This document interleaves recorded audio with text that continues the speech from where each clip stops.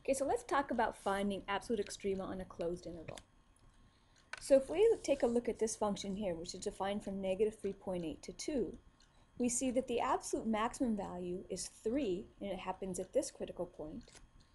The absolute minimum value is negative 4, and it happens at that endpoint. For this function right here, the absolute maximum is 3.7, and it happens at this endpoint. The absolute minimum is negative 1.6 and it happens at this endpoint. So because absolute extrema are also relative extrema, absolute extrema can occur at critical points, but as these two examples indicate, absolute extrema can also occur at endpoints.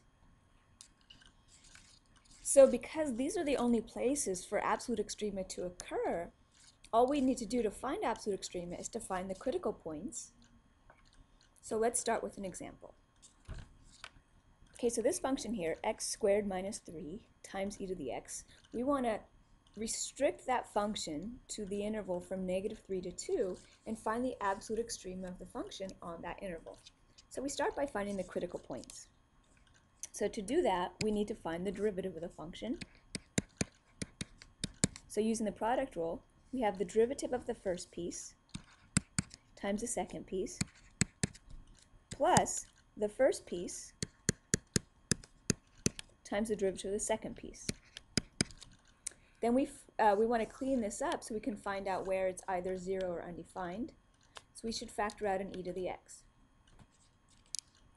And the last thing we want to do is factor this quadratic here. Okay, so we get that our derivative is e to the x times x plus 3 times x minus 1. Well, this is defined for all values of x, so the only critical points of this function here are going to come from this derivative being equal to 0.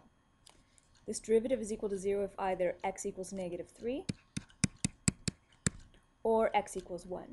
So these are the two critical points.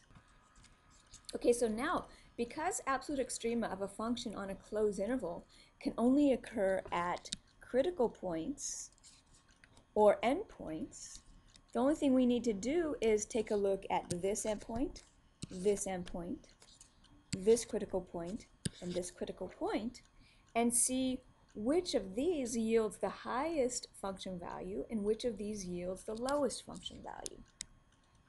Okay, so let's start with negative 3.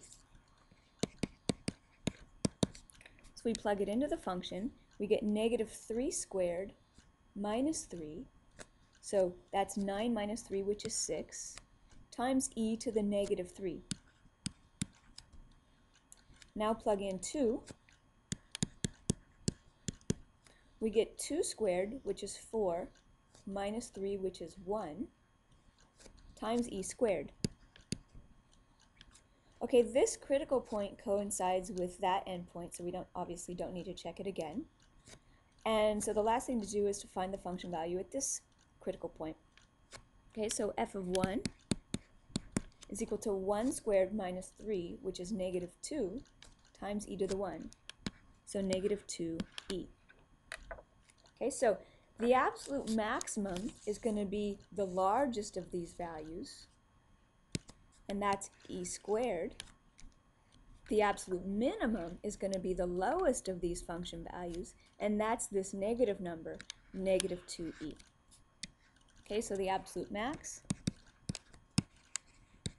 is e squared, and the absolute min is negative 2e. Here's a rough sketch of what the uh, function looks like on the interval from negative 2. And here you can see the absolute minimum value. And here you can see, and that happens at x equals 1. And here you can see the absolute maximum value.